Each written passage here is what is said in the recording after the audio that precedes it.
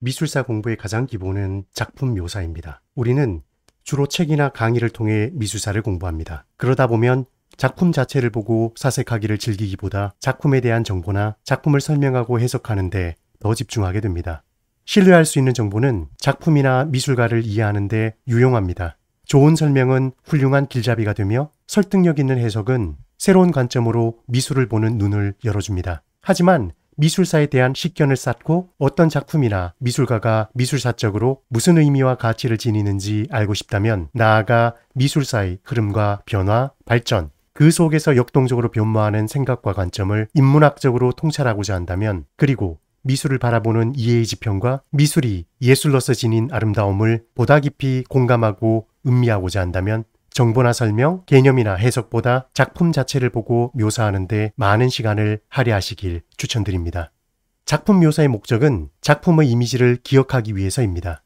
미술사 공부를 제대로 하려면 가장 기본이 정보나 개념을 외우는 것이 아니라 미술사 주요 걸작들을 필요할 때 언제든 머릿속 메타버스에 떠올릴 수 있도록 최대한 많이 기억하는 것입니다. 작품의 이미지가 하나하나 차곡차곡 기억에 쌓이면 파편적으로 떠다니던 개별 작품들 사이의 상관관계가 나도 모르는 사이 체계적으로 정리되는 신기한 일이 벌어집니다. 작품의 이미지를 찬찬히 살펴보고 그것을 기억하는 과정에서 작품에 담긴 내용이 드러나며 표현이나 기법적인 특징들을 파악할 수 있습니다.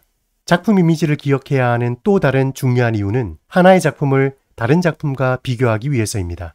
미술사 공부에서 여러 작품들을 비교하는 것은 너무나 중요합니다.